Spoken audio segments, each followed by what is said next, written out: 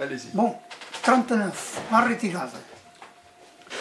Comme beaucoup, j'avais mon frère en Espagne, officier dans la 27, un bataillon de choc qui, était, qui avait participé à toutes les barres en Espagne. La retirade, c'était lamentable. Quand je vois maintenant les gens qui émigrent, que vous les voyez ronds, bien habillés, tout ce que vous voudrez, je dis du chichi et qui se cher, malheureusement. Bon, cette retirade, il fallait la voir. Moi, j'allais à l'école et un jour, il s'est trouvé que j'ai pas pu suivre ma famille et je suis allé toujours, tout seul travailler au Mar Rafalette. Et de là, Caroche vient face à face. Et le temps de temps en temps, tu laisses passer un petit moment, et je regarde de côté de la montagne, et qu'est-ce que tu te vois Un grouillement qui sortait d'un petit col. Et en fixant bien, je me suis rendu compte que c'était des chevaux. C'était l'Istert, la cavalerie de l'Istert. Ils sont sortis du côté de Figueres, ils ont contourné la montagne par un chemin qui sort de Llançà et vient à ah, Raboute c'est un nom catalan qui vient débuter sur le col de la Rompisse, en France. Il fallait voir ça. Les chevaux, c'était une file indienne, on aurait dit, une procession, euh, une chenille processionnelle. Il y en avait du col de Montjus jusqu'en bas à la rivière, en face du, du mas, du, fameux Mayol. On peut dire le fameux entre nous. Il y a peut-être des gens qui diraient celui-là. Bon, chacun pense comme il voudra. Bon, je ne savais pas qui c'était, mais je me suis méfié que c'était la cavalerie de Listert. Listert descend, ça faisait dans la rivière, là, tout le monde se groupait, et ils ont été pris immédiatement en charge par les spahis français. Les spahis au milieu, deux fils de chaque côté de la route, et direction Collioure. Euh, a eu le temps de discuter avec des gens. Il est tombé sur un vieux bagnolin, c'était pas chez toi. Et il lui a donné son pistolet. Un pistolet comme ça. Un énorme. Je ne connaissais pas. L'Istère, pas plus qu'un autre. Bon. Le soir, ce soir-là, c'était le dernier jour où on a fermé la frontière, je crois le lendemain, ou le même jour. Nous avions une, la famille à Espoglia, une cousine germaine, une, oui, cousine germaine. Elle avait deux gosses et elle en attendait un troisième. On l'a ramassé chez moi, on les a recueillis chez nous, au. Il y avait mon père, je l'ai accompagné à la gendarmerie pour demander s'il n'y avait pas des possibilités de pouvoir garder ma cousine avec ses gosses. Après, euh, euh, sur l'histoire qu'elle attendait un gosse dans le bref délai. La gendarmerie nous a dit qu'en signant une responsabilité, on nous a accordé ça. Bon, cette famille est venue chez nous, ma famille, et comme je vous dis, l'histoire, ça a été une, une drôle d'histoire. Je l'ai toujours pensé comme ça. Et le lendemain, non, le même jour, c'est le jour qu'on était à la gendarmerie, il est sorti du bureau du, de l'adjudant qu'on disait que c'était un croix de feu ou un cagouloir. Un adjudant guindé, vieux. Bon, on a eu son accord et il salue ce monsieur, il l'a salué, il lui a dit Monsieur André, on se reverra, je ne sais pas. Hein. il y avait un militaire, mais ce militaire il était assis et sa casquette, comme font les officiers, sous le bras. Je ne connaissais pas ce bonhomme, mais j'ai reconnu l'uniforme. Mon frère portait le même. C'était l'histoire sans que je le sache. Et c'était Malraux, André Malraux, s'est trouvé ici à Bagnols le même jour que Lister a traversé la frontière. Comment? Pourquoi? Bizarre. Une personnalité comme Malraux. C'était en 39. Mais N'empêche que c'est bizarre. hein? 39. Se trouver ici pour le prendre en charge. En fait, il était là pour le prendre en charge. Mais pas que peut-être Il n'est pas ça. allé, il, euh, Solister n'est pas allé au camp de concentration. C'est le seul. Il a passé la nuit avec Malraux dans une chambre à l'hôtel Fanal. Au Fanal. Fontenay, Canon, non? Fanal. Non, au Fanal, au Fanal, c'était. Au Fanal. Le fanal qu'on appelle maintenant. Non, le Fanal. Et le on appelait le, C'est le. Le restaurant Le grand hôtel. euh, Le Grand Hôtel. le grand hôtel. le Grand Hôtel. C'était le Grand Hôtel. Ils ont passé la nuit là-bas. Euh, le lendemain, ils sont sortis et je ne le savais pas. C'était l'histoire que plusieurs fois, en lisant et en écoutant, on, on ramasse des, tout, tout ce qu'on- tout ce qu'on peut.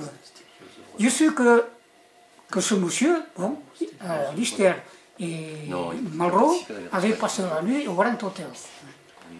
Un jour, je lis un livre et je trouve que euh, le fils euh, Albert Sagols avait dit que Lister avait passé la nuit avec Malraux dans son hôtel. Et Albert Sagols nous donnait comme euh, à, à Lister, il le donnait comme un, un- un brigadiste, c'est-à-dire un membre de la brigade internationale. Et Lister était espagnol, il sortait de Barcelone. Quelques temps plus tard, je le rencontre, je lui dis, Albert, d'où tu as sorti ça Je dis, oui, je le pensais. Je dis, non, c'était Malraux qui était de brigade internationale. Il était dans l'aviation, on l'appelait le commandant Malraux. Bon, il a dit, je ferai rectifier les choses, il dit, t'en fais pas, je m'en occuperai. Je l'ai fait. Les choses passent, comme euh, la retirade, tout passe. Et tout reste là-dedans, un petit point. La retirade, on en a vu des vertes et des. Les bagnolins, si vous avez vu les bagnolins, ils sont un peu cons actuellement. Mais c'était bizarre dans le temps, vous pouvez le croire, c'était dur à supporter. On venait manger le pain des Français et nous, les Espagnols. De merde Ça, c'était pour corser l'affaire, hein, la merde. Bon, je me souviens, en face de la mairie, bon, il y a la petite fontaine là, ils sont venus un caméraman, par exemple vous, dans le temps vous aviez des gros trucs, hein, pas comme ça. Il y a deux ou trois jeunes militaires espagnols qui sont allés là-bas, coup de pied tout volé. Les gardes mobiles sont arrivés, il y en a un qui est resté sous le carreau avec la tête ouverte. Un beau jour, il y en avait 13 ou 12 évidemment. J'ai presque 300 000, ou plus de 300 000 militaires sont traversés. hein. Il y a eu un accrochage avec les vieilles, surtout les, les vieilles à. C'était pas des vieilles. Je ne sais pas comment on peut les juger, mais bon, elles sont toutes parties, les pauvres bons femmes. hein. Ils sont accrochés avec un catalan, un militaire catalan. Et elle l'a laissé parler. Hey, nous les Français, qu'on a une armée, que ceci, que cela.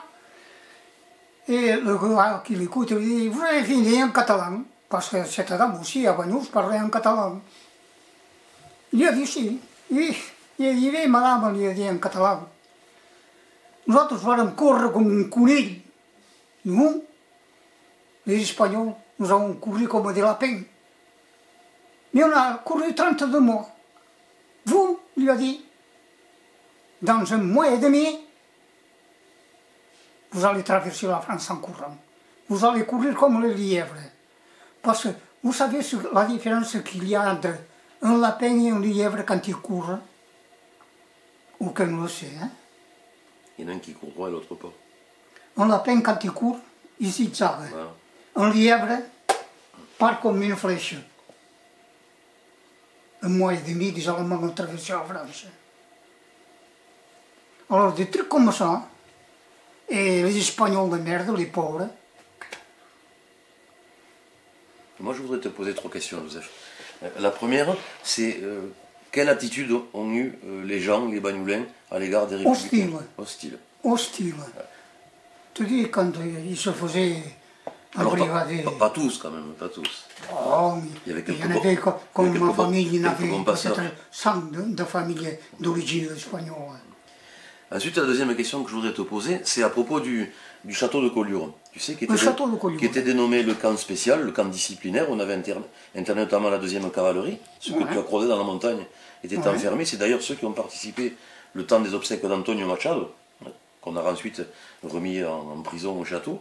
Et il est dit officiellement que le château royal, en 1939, ferme ses portes. Donc il n'y a plus personne dedans. Officiellement. Je dis Ouais. bien officiellement. Et ensuite, pour réouvrir en 1942 sous le régime de Vichy. Mais toi, je crois que tu as quelques éléments éventuellement à nous donner sur le château de Collioure. Bon, nous y voilà. Euh, L'histoire des camps de concentration, par-ci, par-là, tous les grosses têtes, si tu disais que tu étais communiste, c'était direction de Collioure. Collioure, hein? Si tu étais anarchiste dur, c'était direction Collioure. Le camp, camp de répression. Hein. C'était pas un camp de, de rigolade. hein. Bon, euh, 40. Oui, 40. Mon frère, je ne restais que tout seul que j'allais à la vigne, mon frère était décédé en juin 40. Et ça, c'était. c'était ah, il était décédé avant. Moi, je me trouvais tout seul. Je rentre un jour chez moi, le soir, en rentrant de la vigne. Et ma mère qui me dit, on discutait, voilà. À midi, quand nous mangions avec tes petits frères et sœurs, j'avais 4 ou 5 petits frères et sœurs, moi j'avais 16 ans, 17 ans, quelque chose comme ça. Bon, il s'est présenté un pauvre bonhomme. hein. Toujours me discutait en catalan, avec, habillé avec des pèlerines, c'est-à-dire des guenilles blanc comme mat bren, c'est-à-dire bleu, comme euh, un tumouche, les champignons qui deviennent bleus dès que vous les touchez. Et elle m'a demandé si je pouvais lui donner un peu à manger, qu'il y avait deux jours qu'il n'avait rien mangé. Ma mère, c'était le temps de Rutagaga. On avait eu d'abord. Non, oui, on avait eu d'abord le topinambour, que même il y avait des gens encore qui possédaient un cochon. Les cochons n'en voulaient pas, les topinambours, tellement c'était bon. C'était une fête. Je me souviens, j'avais deux frères, tous les deux sont au cimetière, les pauvres. Ils étaient ballonnés comme ça. On n'avait rien à manger. Bon. Ma mère donne à manger ce bonhomme. Et quand elle a fini, euh, ce bonhomme lui dit Vous pourriez pas m'en donner un petit peu? J'ai un copain. Il lui a expliqué. On a eu un pépin, il a la tête ouverte. Ma mère lui a dit Allez chercher le copain, en espagnol, pas ruiner avec du catalan, parce que c'était du, castillan. Allez chercher votre copain, amenez-le. Ma mère lui a refait le pansement avec de l'alcool pur. Il ne bougeait pas le type. Il était à moitié mort. Ils ont mangé. Et ils ont demandé l'adresse de ma famille à Bagnos. Et ils ont promis à ma mère, si nous vivons, on vous le fera savoir. On n'a jamais su quoi que ce soit. C'était à quelle époque ça. Et ils venaient d'où ces deux bonhommes Ces deux bonhommes venaient du camp de concentration, c'est-à-dire euh, le château royal. C'était dur. c'était à quelle Euh, époque? Quelle année quelle époque? 40, Ah. ça avait été né, Mais, ouais. parce que le bonhomme divin, euh, il vivait là, et vraiment dans des drôles de choses. Mais il y avait déjà un certain, je l'ai aussi retrouvé sur le livre, des, des, des gardes mobiles qui étaient des de temps en temps, on leur fournissait un journal, une cigarette, quelque chose. Et un beau jour, un de ceux-là, qui croise les deux, il leur dit, Eh, cette nuit, foutez le camp, parce que votre destinée, on ne sait jamais ce que sera. Il ouvre sa varase, il sort une corde, il a dit ce soir, ça c'est quoi qu'il arrive, foutez le camp, il l'a répété, c'est le bonhomme comme ça. Bon, le soir, prend la corde, un qui descend, et l'autre dit bon, quand il sera en bas, cinq minutes après, tu fais un signal. Un qui descend, rien, pas de signe. À la fin, il se décide à descendre. Il descend, et quand il saute, il a sauté sur le rocher. Mais en bas, il y avait son copain qui avait la tête ouverte. Mort. Mort non, puisqu'il il, il s'en est tiré. Il l'a ramassé comme il a pu. Il l'a fait revenir à lui. Sur les rochers, du côté de la mer, vous voyez, vous connaissez Collioure Ouais, ouais. Non, il est là-bas. Il s'est ouvert la tête. Il l'a ramassé, il l'a emmené dans les vignes, dans un cabanon. Et là, ils ont trouvé des effets de sulfatage. Et tous les deux se sont habillés comme ça pour essayer de passer. Un garde mobile leur a sauvé la peau. Et il y en avait pas mal, paraît-il. D'après ce que j'ai lu, je le savais, et qu'il y a plus ou moins qu'on indique dans le livre aussi. C'est indiqué chez tout le livre. Regarde bien. Ça veut dire que tu. Toi, tu confirmes que le château n'a jamais officiellement il a fermé, mais Jamais. on a continué à interner des gens dans le château. Tout le temps. De 39 à 42. En silence, mais ça se faisait. En silence, mais ça se faisait. Hein. Hum. C'est jamais arrêté, quoi qu'ils disent. Mais personne n'admettra que c'était pas vrai. Personne.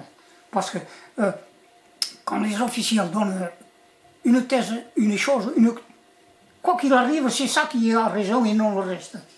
Tu peux toujours chercher pour porter le contraire, tu n'y arriveras jamais. C'est comme ça. C'est dans les annales de l'homme, je crois ça. C'est pas possible. C'est un peu le problème que l'on a, tu sais, avec l'histoire. On a, on a pas mal de, euh, bah, les gens avec qui on travaille, hein, des historiens qui, eux, ont une vision de l'histoire, et donc une vision scientifique de l'histoire. Et j'ai parlé il n'y a pas très, très longtemps avec quelques-uns d'entre eux, j'ai dit qu'on allait se rencontrer, et qu'il est bon aussi d'avoir des témoignages de gens qui ont vécu cette période, et qui n'est pas toujours conforme avec la version officielle. En l'occurrence, c'est ce que tu viens d'expliquer, bien euh, annule complètement toute hypothèse, comme quoi le, le camp ferme, puisqu'il n'a pas fermé. Il a fermé selon l'autorité. Il a affirmé quand les Allemands sont venus. Alors, et la dernière question, Avec l'occupation, la dernière question que je voulais te poser, concernant encore la guerre d'Espagne, c'est sur le trésor, le trésor des républicains espagnols. lequel le trésor Alors, tu sais, il y, a- il y a plein de légendes qui courent dans Bagnouz où il y en avait du trésor, du trésor espagnol un peu partout, entre ceux qui étaient les bons et les mauvais passeurs et qui se servaient au passage. On peut venir, Et, fameux- venir, et la fameuse histoire du septième camion, bien sûr. on peut partir sur le septième camion. D'accord. Bon, le septième camion, avant de le lire, plus ou moins je l'avais dans ma tête parce que je m'étais posé des questions. Et en fait, le septième camion, c'était en février 39, qu'il a neigé, qu'il a gelé, qu'il a plu à, en perdre, comme vache qui pisse, s'il pouvait. Les Espagnols traversaient la frontière. Et là, un camion qui monte par le col, et quand il est, euh, il à- oui, quand il est arrivé au col de Bagnols, du côté espagnol, il y avait une, euh, une piste. Mais du côté de Bagnols, la piste n'existait plus. Il y avait de- dans la broussaille à cette hauteur. Tu passais là-bas, personne ne te voyait. Maintenant, c'est poulet, pas dans le temps. hein. Tu passais comme tu voulais. Bon, Euh, les gens passaient par là, ce camion arrive en haut, ils se sont rendus compte qu'il n'y avait pas moyen de descendre en bas. C'était impossible. Quoi qu'ils auraient fait, ils n'auraient pas descendu. Ils ont foutu le camion marche arrière et hop, en bas. Avec un temps pareil, par tous les moyens, ils ont essayé d'y foutre le feu. Il n'y avait rien à faire. Ils ont essayé l'essence, ils ont brûlé tout, mais rien ne brûlait. Bon, comment ça c'est su? Ce que j'ai su qu'il des bagnolins, des jeunes, hein, qui allaient au col de Bagnols. Qu'est-ce qu'ils allaient faire? Et beaucoup, d'aujourd'hui au lendemain, ça a été un peu l'opulence chez eux. La preuve, nous en avons à Bagnols. Hein? Bon, tant et si que, bien au moment qu'on doit tout oublier, mais pour ceux et certains, je vais te dire quelque chose qui est sûr. Tu te souviens de Jean Mestres? Oui. Tu t'en souviens? Bien sûr. Il n'y a pas trop longtemps, il y a deux ans qu'il a disparu. Un jour, il y a deux ans, deux ans et demi, on discutait très souvent. Il était sourd, mais moi j'en suis un peu, lui, il fallait crier. Bon, je lui ai posé la question, il dit Jean, je voudrais te poser une question. Et tu te souviens de 39 Donc, Si je me souviens de 39, je dis, Ah, bon, moi j'avais 14 ans, lui il en avait 17.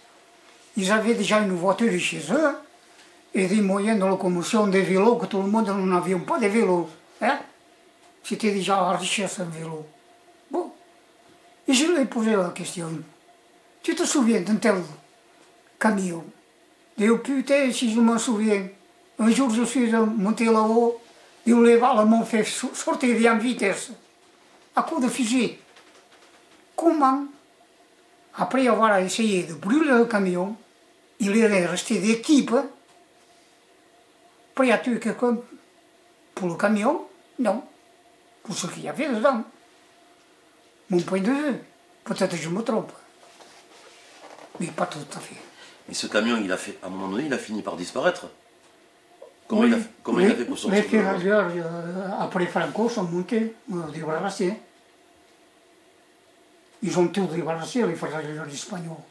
Et ces histoires qu'on a entendues souvent ici, quand il y avait des incendies, les grands incendies, que l'or, l'or fondu coulait des arbres. Ça vient d'où cette histoire? Tu en as entendu parler de ça? Deux L'or, quand il y avait du feu, les gens disaient, qu'ils incendies. voyaient- les gens, les gens disaient que l'or sortait du tronc des arbres. Oui.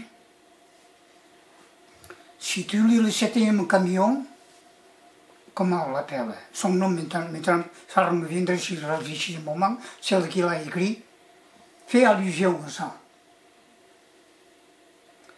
Euh, il y a une vingtaine d'années, j'allais au, au Pils chercher du fumier. Il y avait un troupeau, et le fumier, tu pouvais là-bas, tu te servais comme tu voulais.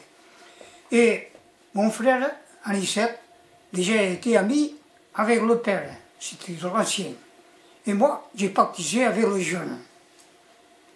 Et tu fais ta pelote petit à petit, tu déroules, tu déroules. Et j'en suis venu à ce camion.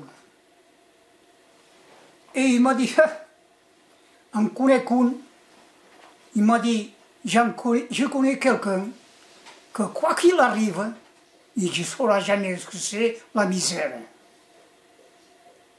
Et il m'a dit, un jour ce bonhomme, ou cette personne, en faisant la montagne, il est tombé sur un tronc d'arbre sec, qui avait une coulée, une coulée d'or qui allait peut-être 3 mètres loin. Il n'a pas laissé, n'a pas été si con. si c'était- Mais qui sait Et la personne qui a écrit le septième camion dis- a écrit exactement, pas tout à fait. C'est quelque chose qu'on lui a dit aussi, tu vois. Il voudrait me, me poser une question qui n'est pas personnelle, mais que je connais très bien. C'est lors de la fin de la retirade. Merde, ça m'échappe.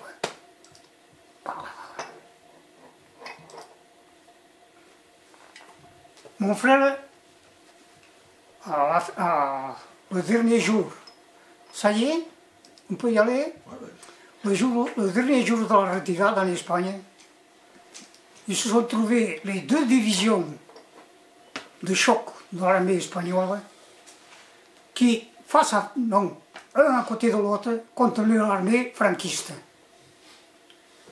Euh, Lister faisait la mer Figueras, la 27, où il y avait mon frère, faisait Figueras, la frontière espagnole. Il faisait tampon aux nationalistes. À mesure que les uns reculaient, l'autre avançait. Ils se sont trouvés à Figueras. Et à Figueras, y avait la banque espagnole, du gouvernement espagnol. Euh, il s'est trouvé, Lister a foutu le feu au, au château San Ferran. Il avait brûlé aussi, je ne sais pas, un magasin, des dépôts d'arbres. Il avait fait des atrocités. Bon, à la 27, c'était le colonel Uru- Urugue. Oui. Euh, on lui a donné l'ordre d'évacuer la banque. Ça a été mon frère en tant qu'il était officier, capitaine et un soutien du colonel en plus. Il a eu l'ordre d'évacuer euh, la banque. Ils ont rempli quatre wagons en faisant le trajet avec les camions, la banque, la gare, quatre wagons espagnols remplis de quoi? C'était pas des papiers journaux, non. Avait des, des fortunes. Et là, il y a eu un pépin jamais personne n'a pu m'expliquer. Et mon frère n'a pas voulu nous l'expliquer. Il y a eu un pépin. Et mon frère, on appelle de l'héroïsme, mais c'est pas drôle. Il a eu une balle qui lui a traversé la main, lui est sorti derrière le poignet et il lui a arraché la moitié de l'oreille. Il était fou. C'est son majordome, majordome qui était une femme, sergent, habillé un homme que personne ne savait que c'était une femme, qui l'a ramassé avec son escadron, ils l'ont ramassé, ils l'ont piqué, ils l'ont soigné, et on l'a embarqué dans un train sanitaire que le lendemain il est passé par Cervera. À Cervera, il passe. Le lendemain, la police française monte au Marrech, chez nous. Ils nous ont foutu l'appartement sans dessus-dessous. Comment L'armée française était au courant que mon frère avait exécuté cet ordre et fait ce travail-là. Une question que je me suis toujours posée, pourquoi et comment mon frère a pris un pistolet par la bouche? Il savait ce que l'attendait. Prenez un pistolet par la bouche, vous pouvez dire que votre main y saute, hein C'est ce qui lui est arrivé. Bon. Les choses se passent comme ça, et cette histoire de- d'or, les quatre wagons sont passés par Cervera. Avec les aléas de la vie, en 71, je suis allé travailler au Cer- à Cervera, à la gare, au transbordement. Et j'ai connu un gars qui, à peu je me suis dit, il peut être dans le courant. Et petit à petit, je l'ai fait venir et je lui ai posé carrément la question. Il dit, Denis Dalmau, je me souviens encore de son nom, il est mort à la maison de retraite, le pauvre. Il dit, dis Dalmau, en catalan, il dit, dis Dalmau, euh, tu te souviendrais d'une telle chose en fin de la, de la retirada Il me regarde et il me dit, pourquoi tu me demandes ça Parce que... Et je lui ai expliqué que c'était mon frère qui avait été chargé de ça, de ce travail, cette mission. Il m'a dit, oui, en effet, ils sont passés quatre, quatre wagons, remplis, pour d'or. Chaque équipe, c'était des équipes de quatre, j'y travaillais pour faire le transbordement de wagon en wagon, vous voyez Un wagon espagnol, un wagon français, ou vice-versa. Et on était quatre. Avant de monter gardes mobiles, nous foulions de haut en bas. Et quand tu descendais, tu, tu étais foulé de haut en bas. Que quatre wagons, jamais personne n'a pu savoir où ils sont passés. Jamais. Je connais quelqu'un à Bagnoux, que plus ou moins il a trempé dans ces services-là. On est amis. Et un jour, je lui ai posé la question. ils me regardent en rigolant, en rigolant, mais tu sais, n'ont pas été perdus pour, pour tout le monde. Il y en a qui les ont récupérés. Mais l'Espagne, on les a jamais revus.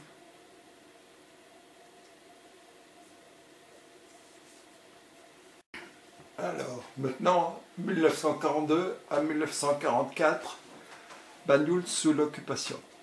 44, De 40 ou avant. De 42. 42 à 44. D'accord. Bon, 40. Euh, la défaite, fin des camps de concentration français, plus ou moins. Beaucoup d'ouvriers qui étaient des, anciens soldats espagnols travaillaient dans Banyuls, dans les villes et par-ci par-là, il y en avait partout. C'était la bonne entente à ce moment-là. Il y avait déjà une amélioration avec la population de Banyuls. Et là, ça, commence à se corser, il fallait se méfier parce que, comme je vous dis, le sol antique, c'est euh, milice. D'aujourd'hui au lendemain, ça n'a pas été la milice. hein. La milice a été créée en avril 43, je crois, quelque chose comme ça. Bon, il y a eu des services déjà à la solde de la collaboration jusqu'à la milice. Et la milice, euh, moi, j'ai connu un gars dans Bagnols, un Bagnolin, un jeune. Moi, j'avais 20 ans, 21 ans, 20 ans, de, de 16 à 20 ans, quoi, puis c'était à peu près là. Et on était deux copains, un, un copain à moi, de, de, de mon âge aussi, fi- fils d'émigrés comme moi, ma, fils de famille nombreuses comme moi, des gens à la corde très souvent. Bon, mais enfin, et on discutait. On voit ce gars qui s'amène de loin, et il s'est approché carrément. Il nous a dit, vous parlez de moi? Il nous a dit non. Et allez, je vous connais, Et on se connaît, on les voyons. hein. Il m'a dit, je le sais que je suis milicien. Mais il m'a dit, carrément, je suis milicien pour l'argent. Mais fait comme ça, je ne ferai jamais du mal à aucun bagnolin. En effet, celui qui a dit à Azema, Vincent Azema, fous le cadre de Bagnols, demain on te ramasse. Ce gars, je suppose, 20 ans, il pouvait en avoir 22. Et il nous a répété, je ne ferai jamais mal à personne. Il nous a répété, je suis milicien pour l'argent, pas pour autre chose. Vous voyez? Je me suis trouvé au Marech avec une compagnie de soldats allemands. Il y en avait des jeunes, des moins jeunes. Il y avait un type qui pouvait avoir 35-40 ans. Et son plaisir, c'était un coup de pinard dans le nez. Et une fois, il pleurait comme une madeleine. Il nous a fait voir sa, sa famille. Et j'avais deux frères très jeunes. Un qui s'appelait Michel. Et ce soldat, de temps en temps, il appelait Michel, Michel, ton carrousel. C'était lui qui était carrousel, mais c'était mon frère qui tournait. Il faisait pss, pss. Il lui donnait un pain, il lui disait, voyez,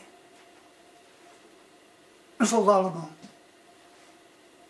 Un jour, il est monté sur une terrasse, il prend son fusil, pam, pam, je saute de, de temps en temps, je monte là-haut, il me donne le fusil, pam, pam, il m'a dit. Des gens bons, il y en a partout, mais des salauds aussi.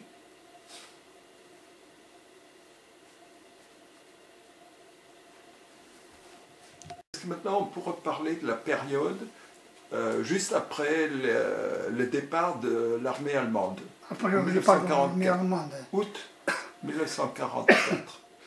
Qu'est-ce qui s'est passé à Banyuls une fois que les Allemands étaient partis? Euh, ça s'est bien passé, pratiquement. Mais il y a eu toujours ce moi, je suis français. Et ça, ça a été dur à digérer et à faire disparaître. Ça a disparu plus tard, à la fin de la guerre avec les guerri- guerrilleros espagnols. Et dans les maquis, c'était pratiquement des Espagnols qui menaient la barque.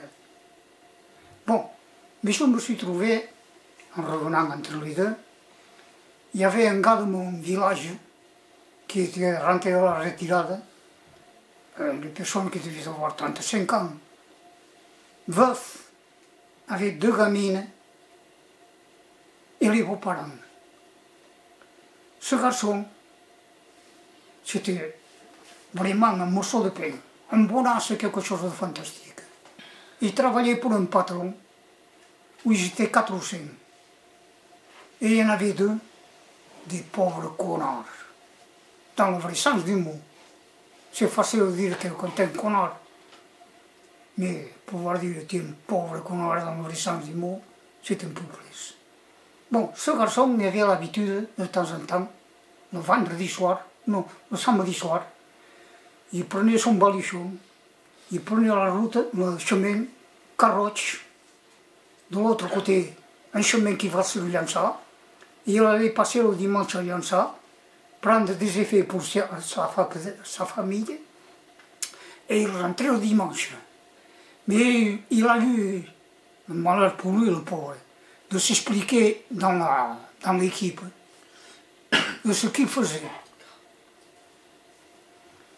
Un beau jour, il me l'avait dit. Un beau jour, j'étais sur la promenade générale de Gaulle et en traversant, il y avait la gendarmerie. Je ne sais pas si vous voyez où elle était dans le temps. Dans les jardins là, près de la- la- la- la promenade.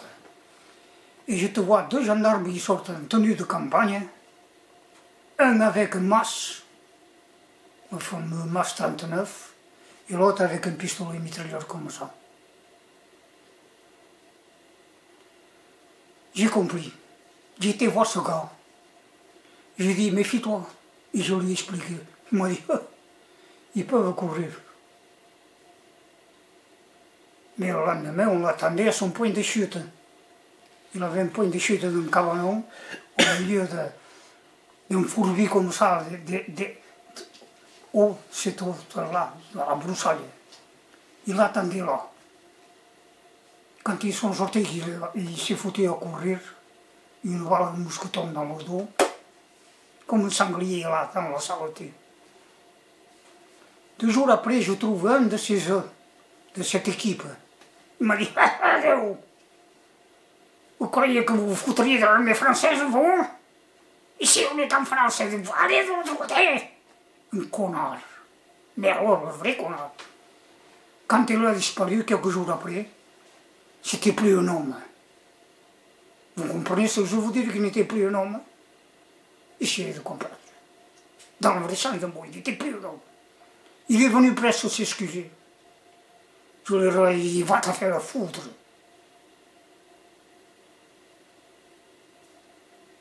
C'est des choses qui marquent. Et on l'a vendu, et les gendarmes l'attendaient son point de chute. Ils l'ont tiré comme un lapin. On peut passer à autre chose. Ou avant, sous cette période. Juin. Juin 40. de- de tout- Juin 44. 44. ouais. Juin Oui. 44. ouais. Oui. Et euh, ça a été évacué complètement, Vagnous. Presque tout le monde. hein. Parce que tout le monde. hein. Oui, oui. Et, Et pas seulement que Bagnos, toute la côte jusque je ne sais pas où. ouais. Et vous êtes allé où? À Fourques. Ah, vous êtes- C'est là où tu disais que tu voyais l'incendie, euh, quand ils se battaient, que tu voyais l'incendie. En fait, ils ont fait exploser le port de Bourgogne. Les. Allemands, avant de partir, ils ont dynamité le port. Mais entre-temps, Ah, vous voyez, euh, les choses s'étaient bien arrangées. Et on pouvait dire que ça, ça marchait assez bien. En plus, il y a eu, comme je vous dis, euh, les commandos espagnols dans les maquis, que c'était, c'était des spécialistes hein, et des drogues. Alors j'ai justement une question là, concernant l'évacuation de Banyuls. Euh, il y a un ami qui m'a raconté euh, comme quoi euh, les Allemands ont demandé au maire de Banyulz de l'époque de faire la liste des indésirables. Ça veut dire que des gens qui n'étaient pas favorables à, la présence de, l'armée allemande. Et donc le maire, il leur a fait une liste. Et pas mal de gens étaient dénonc- dénoncés. hein. Oui, et euh, ils ont dû partir ça, c'était dans l'Ariège. carrément pendant euh, l'occupation. Hein. Ouais, pendant l'occupation. Est-ce que vous avez entendu parler de cette euh, histoire? Euh, je me suis trouvé plus ou moins dans, la question. Il est venu un moment qu'on obligeait les civils, le soir, de garder euh, la voie ferrée de la gare au tunnel du Celis. voyez? Et on est allé pour deux, en- à deux, on était deux. Et je travaillais au Marrakech, et chaque moment, c'était mon tour. À la fin, j'en ai eu marre. Je suis descendu à mairie, carrément voir le maire, un maire imposé par la corporation, un pagès. Vous saviez comment on l'appelait dans Bagnols Sur ce nichon, Chouquetetes. Parce qu'il avait été surpris dans son bureau, la secrétaire. On l'a baptisé sur ce nichon. Je m'accroche avec ce monsieur et j'ai dit écoutez monsieur, c'est trop. En plus, j'ai dit, je ne suis pas français, je suis espagnol. De quel droit vous m'imposez ça Il a commencé par bafouiller et gueuler. Il m'a dit c'est pas simple, c'est pas difficile. Je te fais, je te fais porter un désirable. Je lui ai dit monsieur, allez-y. Mais quand je reviendrai, on en discutera. Il est devenu blanc comme ça. J'ai dit oui. Quand je reviendrai, on en rediscutera. Ça a été fini.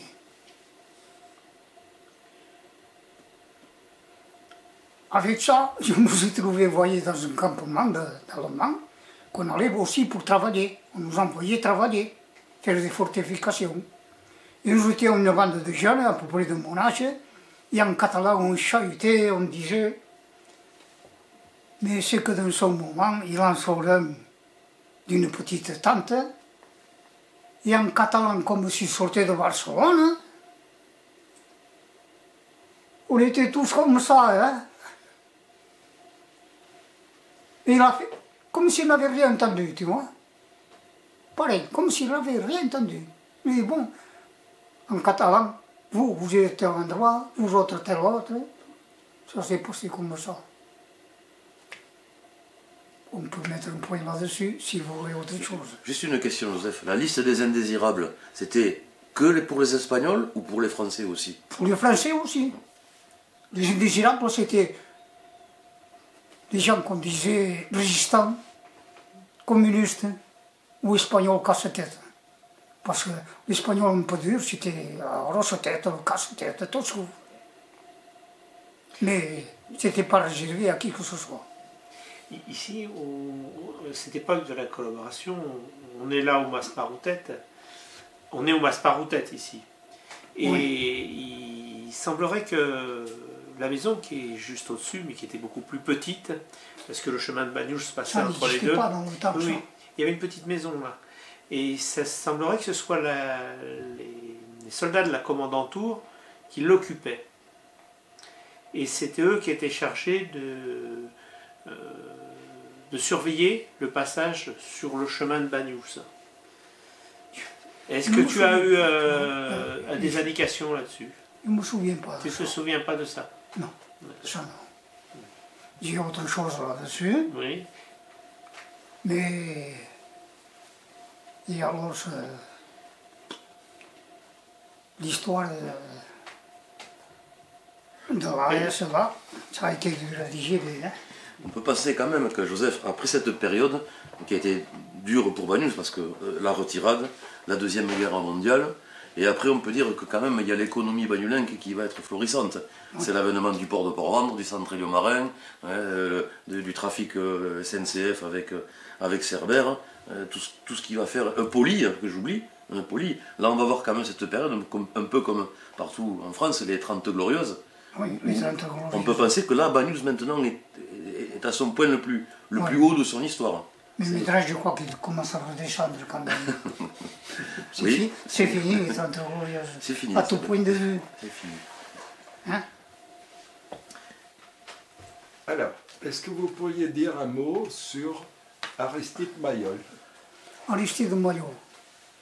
Aristide Mayol, je l'ai connu en 40 ans. Mon frère a pris des vignes à 500 mètres de, de lui, mars. Et là, la route qu'il y a actuellement n'existait pas. Hein. Elle a été faite bien plus tard. Oula C'était une route carrossable, si vous voulez, une piste dans la rivière. Que chaque fois que la rivière passait, il fallait la remettre en état. Bon, mais ça bougeait tout le long. Et là, j'ai connu ce monsieur sans savoir qui c'était. Quand on est jeune, les gens âgés, on n'en fait pas question. Bon, mais je me suis trouvé que j'ai vu de ces nénettes à poil. Et elles faisaient leur métier. Lui, les croquait et elles étaient à poil. Elles se sauvaient en courant, mais elles revenaient après. Et beaucoup de ces effigies qu'il a, qu'il a dans Bagnouz d'ailleurs, très souvent je me suis posé des questions, putain, ça ne rime pas avec euh, les filles que tu avais vues quand tu étais jeune. Mais la Verdi, la Verdi, oui, que je me souvenais d'elle, c'était la dernière. Comment cette personne a eu tant d'argent? Je ne sais pas si tu es au courant mais il avait demandé à la patronne de tes anciens grands-pères, et ça c'était en 80, tu veux me le vendre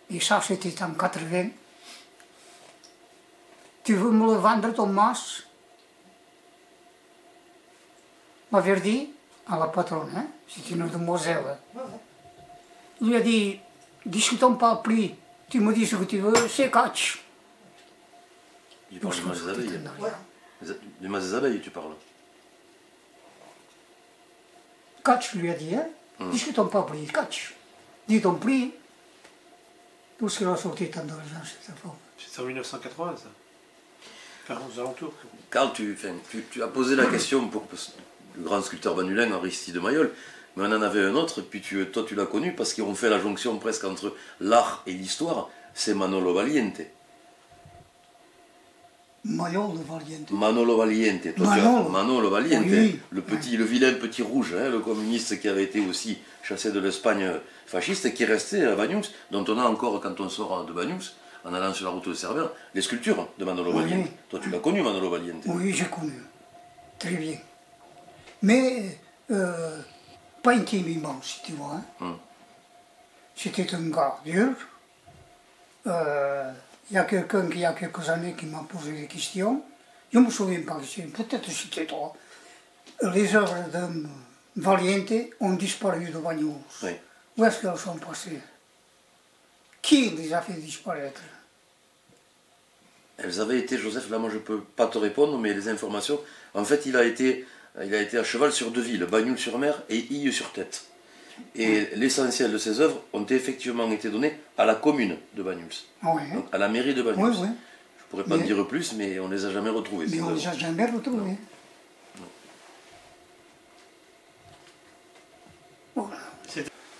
Ma question, ma réponse, ce serait, c'est drôle ce que tu dis, politique, en quelque sorte, militant en quelque sorte. Mais tu n'as jamais cessé d'être ni dans la politique ni dans le militantisme, Joseph, tout le temps. Mais j'ai jamais eu une carte. Parce que dès que tu as une carte, tu es attrapé par le bout du nez. Vrai. et se taire. Mais tu as toujours été quand même fidèle, même si ceux qui avaient des cartes ne l'étaient pas, à ta ligne de conduite politique.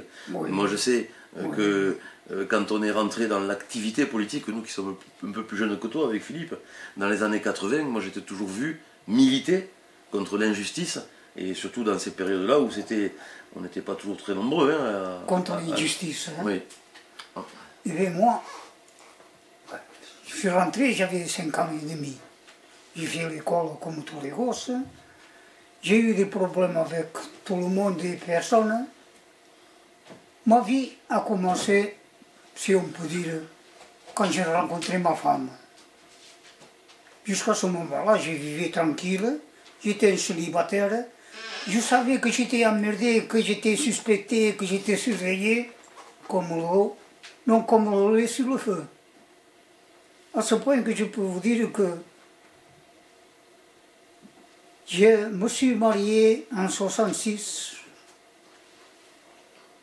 J'avais fait déjà deux demandes de naturalisation au panier. La troisième, j'avais deux filles mariées avec une Française. La loi me dit que je suis français. Non. La troisième, avec deux filles, à la poubelle.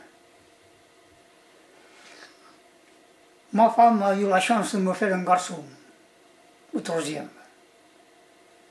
J'avais un voisin, un gaulliste, un vrai, un homme qui croyait dur, parce que j'étais quelqu'un de intègre, pas gaulliste qui veut, pas plus que les communistes, bien au contraire.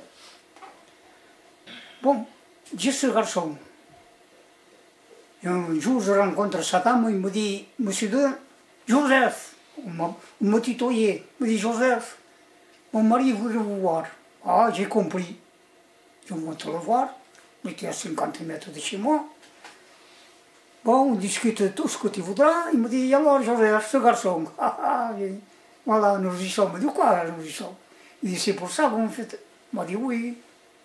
Il m'a dit, alors on parle, tourner autour. Dis, qu'est-ce que tu penses ta naturalisation Je lui dis, pourquoi faire comme ça Aussi- froid qu'un morceau de glace. Pourquoi faire Il m'a dit, pourquoi faire Tu- Tu veux qu'on dise ton fils pour d'espagnol comme toi Merde, là, c'est une percée qui te fout, une flèche. Il dit, tu réfléchis quelque chose, il m'a dit, alors, qu'est-ce que tu en penses? Dit, vous vous souvenez bien que ma troisième, on vous l'a foutu à la poubelle. hein Il m'a dit, réponds, oui ou non, tu y tiens. Pour ton fils. Il m'a dit, pense. Il dit, bon, allez-y. D'accord, d'accord. Maintenant, il me dit autre chose. Tu vides ton sac. C'est-à-dire, tu craches tout ce que tu as. Et tout craché. Il était au courant de pas mal de choses. Il dit, vous savez, vous allez vous jeter dans un drôle de bouillie. Hein? À la sous-préfecture à Célé, il y a un paquet de dénonciations me concernant. Je lui ai dit, vous parlez de mon fils. C'est la première fois que je mettrai en cause un de mes. Sur la tête, sur la, tête de mon fils, j'ai dit, je n'ai rien à voir de ça. Mes copains, ils étaient communistes, ils étaient de la jeunesse communiste, ils étaient de cela, mais nés à Bagnols. Moi, je suis né de l'autre côté. Et je dis, vous savez, je sais que j'ai les flics au cul tout le temps. Je lui dis, vous voulez que je vous dise qui a fait la dénonciation Il m'a dit non, il m'a fait comme ça, non. Je m'en occupe. Il s'en est occupé. Quatre demandes de naturalisation, marié avec une Française, des gosses français, parce que c'était des gosses de ma femme. Tout au bout. Il l'a eu. Il a eu la- l'approbation, j'ai eu mon décret de naturalisation. On se revoit et on est revenu là-dessus. Il m'a dit, ben, je ne me souviens pas s'il m'a dit tu ou vous. En supposant qu'il m'a dit tu t'es pas trompé, hein. C'était bien lui qui te foutait. Il dit, je le sais. hein. Un, gars de mon âge qu'on avait, on était, copains, j'avais travaillé pour lui, mais un beau jour, cet orgueil de français, cet orgueil de ceci et de cela, vient que ça vous fait cracher ce que vous ne vouliez pas cracher. Et je l'ai craché. Je l'ai traité de paix, d'enculé, de tout ce que vous voudrez, de fainéant. Et je lui ai dit, monde se vient. Il m'a dit, tu me paieras ça. Carrément, il m'a fait comme ça. Tu me paieras ça.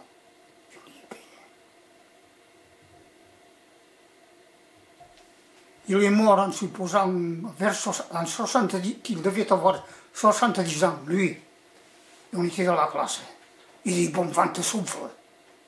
40 ans de retard. J'ai dit entre moi-même. Vous voyez où on peut en venir Opération.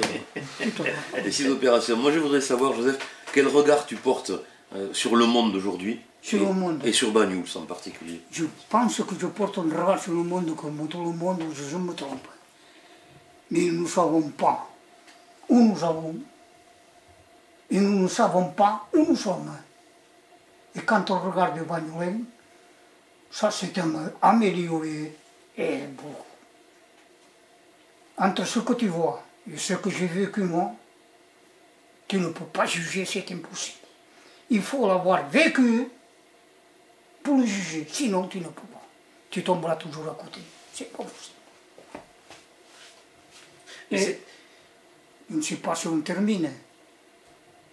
Mais quand je pense à ces élections prochaines, il y en a de quoi se faire au pantalon tout de suite. On avait dit qu'on ne parlerait pas de politique, Joseph. Mais est-ce que, est-ce que tu penses que cette amélioration, Moi, c'est mon point de vue. cette amélioration, c'est aussi